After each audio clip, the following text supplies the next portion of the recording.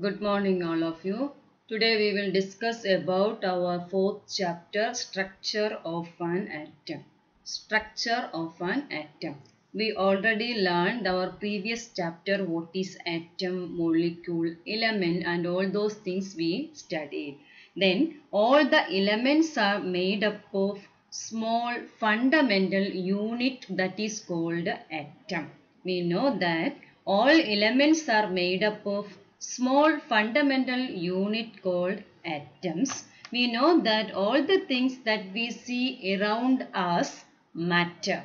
That we learn first chapter matter is anything that has mass and occupies space. Then we can move to atom. What do you mean by atom? Then all the matter is composed of atom. Atoms are building block of matter.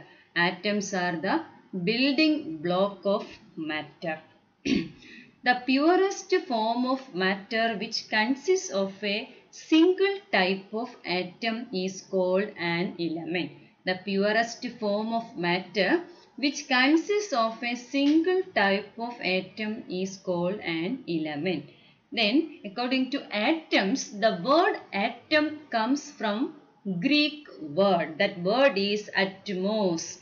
A Greek philosopher or Democritus was the first to coin the word atomos.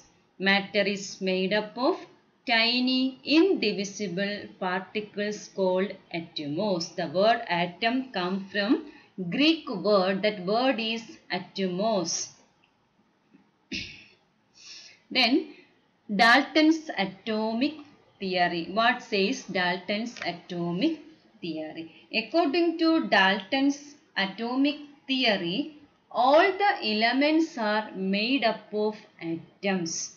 An atom of an element is the smallest particle that show the properties of that element. That is the Dalton's atomic theory.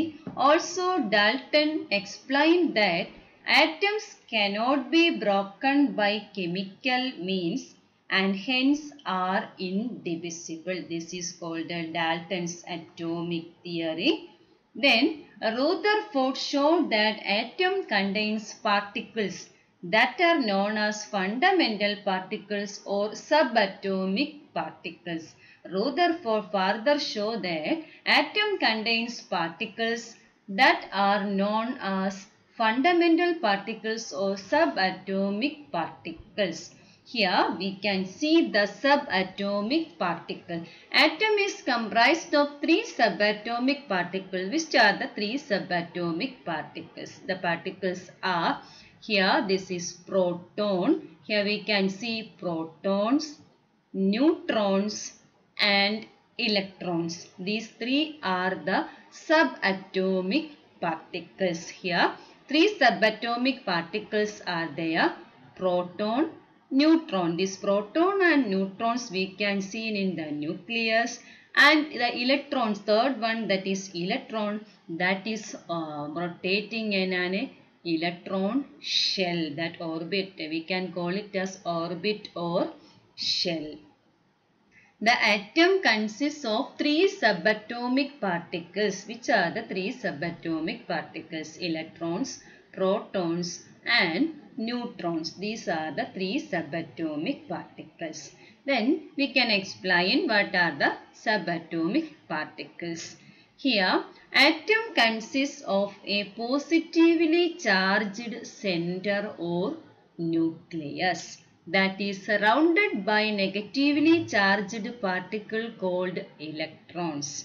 Here, the center of the atom that is called a nucleus. Inside the nucleus, we can see protons and neutrons.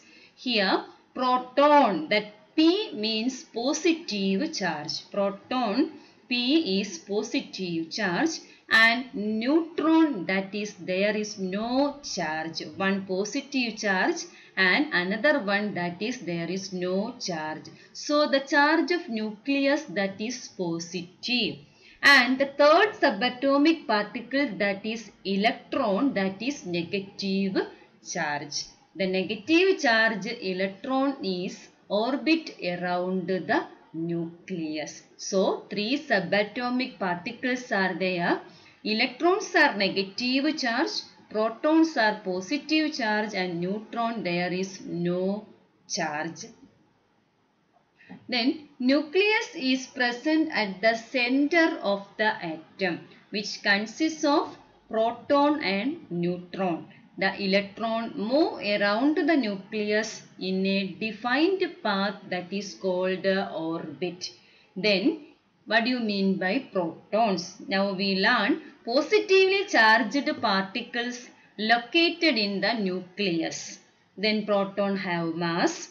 Then what do you mean by electrons? Electrons are negatively charged particles that is located in the electron shell or orbit. Then electrons have so little mass that they are not considered when determining the mass of an atom. Neutron neutrally charged there means no charge. Particles located in the nucleus. The mass of neutron is equal to that of a proton. These are the three subatomic particles that mass.